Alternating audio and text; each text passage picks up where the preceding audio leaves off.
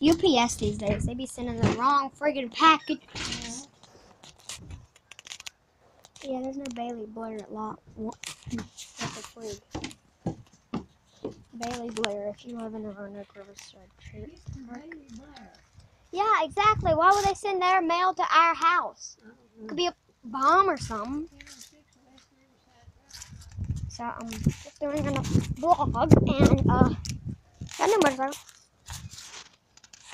which is pretty cool. It's electric. Um, also, um, haven't been catching your snakes. I, I need to. Um, barely.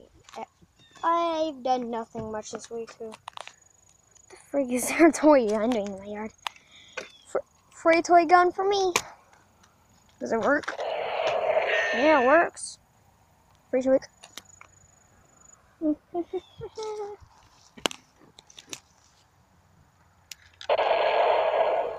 that baby's dead. Um. Uh, so um, I do need to say um, if, if Bailey Blair. Don't know if if, if it's your person off of YouTube sending me something. But I, we don't have dish. We don't have dish. Okay, so how would you send something from dish? Okay, or maybe box just says dish. Sorry guys, I can't speak because I have the hiccups right now. Oops. So at school today, we all made fun of the teacher. She tried to say sector. Instead, she said sex. Yes. Oh, God. There's a fall. Have you found out who it was? Mine.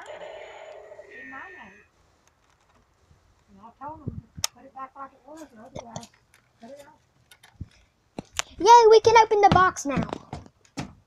We're not opening the box. Mm. give it back to the postmaster tomorrow. None of our business, not mine, then you ain't gonna open it. But what if your it's like a... it. But what if it's a brand new laptop or something?